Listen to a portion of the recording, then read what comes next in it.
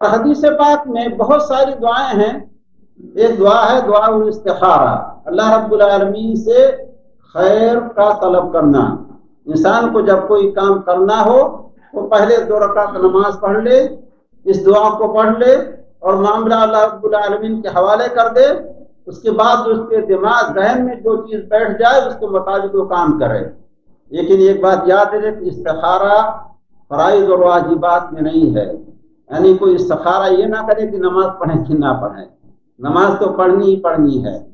حرام اور مکرو میں بھی استخارہ نہیں کرنا ہے کہ استخارہ کریں کہ ہم چوری کر لیں، ڈاکہ ڈال دیں، نوز بلا زنا کریں یا کسی کو مار ڈالیں، اس میں بھی استخارہ نہیں، حرام حرام ہے۔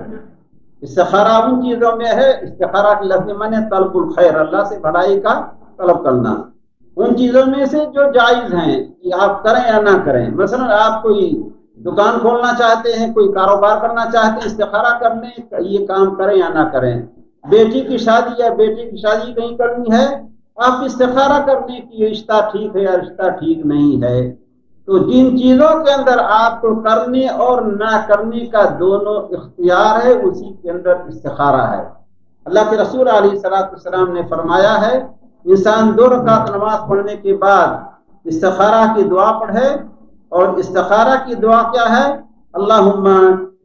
انی استخیرک بعلمک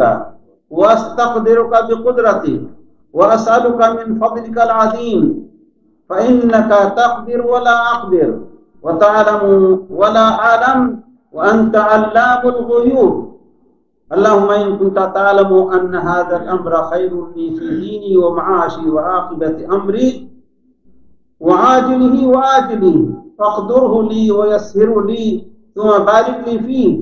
وإن كنت تعلم أن هذا الأمر شر لي في ديني ومعاشي وعاقبة أمري وعاجله وآجلي. فاصرف عني واصرفني عنه واقدر لي الخير حيث كان ثم ردني به.